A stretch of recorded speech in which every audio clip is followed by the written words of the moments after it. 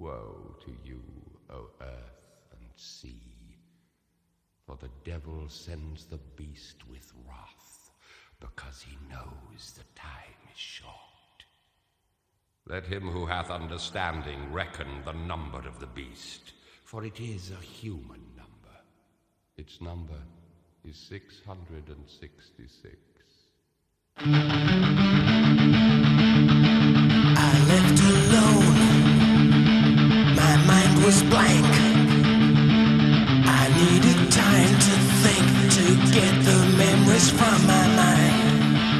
What did I see?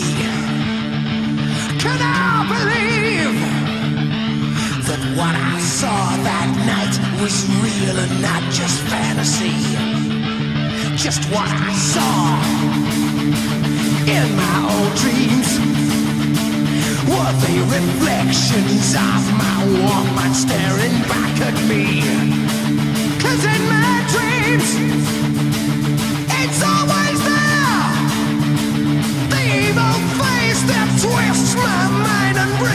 to this